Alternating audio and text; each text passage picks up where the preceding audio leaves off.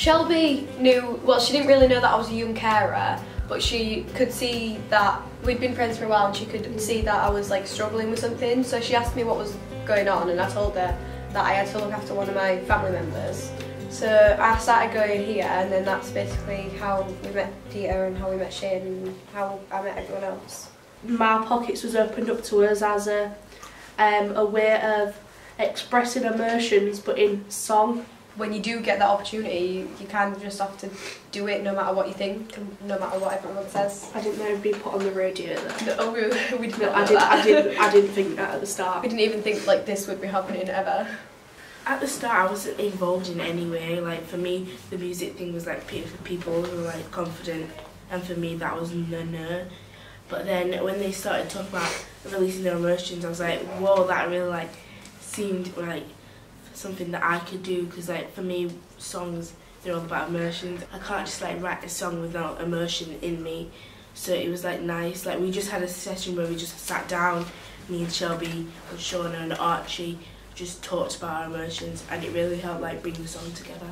Shelby came up with most of the ideas but Kylie and Phoebe came up with some of the ideas and like over time that it went wrong I like piped up and said, this is wrong, we need to put it right. So like say if it didn't make sense, I'd say it didn't make sense. I'd just put myself out there instead of being afraid to say. We didn't know Peter or Shane obviously. Um, and these two random guys came in and started singing with us. At first I was like, yeah. Okay, this is weird. And then you, you start like, it turns out um, they, they actually they support yeah with your feelings like they don't go no they go okay they listen to you instead of contradicting you I guess it was kind of nice as well because I had my both my siblings there and they were writing their emotions so it's like kind of realising how they feel as well as they're finding out how you feel uh, I guess I'll look after my mum and because of her ep epilepsy I wasn't always a young carer until like last year and um, yeah she just dropped in a seizure when I realised there was this place, it wasn't scary no more because I knew there was people there to help. You can tell them how you feel, but sometimes you can't really tell your family because if you're feeling that way, imagine how they're feeling. So we went over to the doctors and they said that he had autism. So obviously I had to start like kind of being like a second mum to him and sort of like making sure like he didn't have a meltdown again and if he did have a meltdown that I was there to make sure like I don't know, just to make sure like he didn't bang his head on something or like something like that. Just to sort of make sure he was safe. There was one time where there was this talent show at school and I sang at it and I felt so confident then. But for some reason like when my mum went into hospital like every part of me that wanted to sing just like disappeared and it was like really hard for me.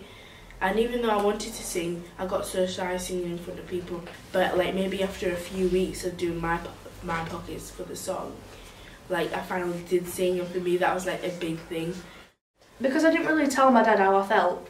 I didn't really tell my mum how I felt but and then I did and now they've realised and I've realised what's going on so we can we, are, we can actually connect instead of argue because we're not telling each other stuff. We still argue a little bit but not as much and now we're sort of like better as a mother-daughter team. I think it's like a really good thing to like express your emotions and not keep them bottled up. I never actually thought about it because I didn't think music could work, but it actually does.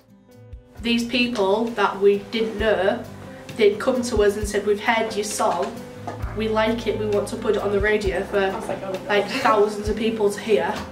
So it was like, oh, okay then. And since I've wrote this song, I can, I can always write another one. I'm a bit more confident now than I was before. Um, I don't really care what people think or say when I did before. It's just more about proving yourself, really. So like if people say to you, you can't do this, you can't do that, and then to do something like this is just like, it's not proving anyone else that you can do things, it's proving it to yourself. We're always together and we're always, well sometimes we're thinking of like new songs to write, and if we think of anything, we'll obviously include Kylie and Shona and Archie and everyone. I guess when we when we used to see each other in school, we'd be uh, she goes to our youth group, but now it's that's our friend.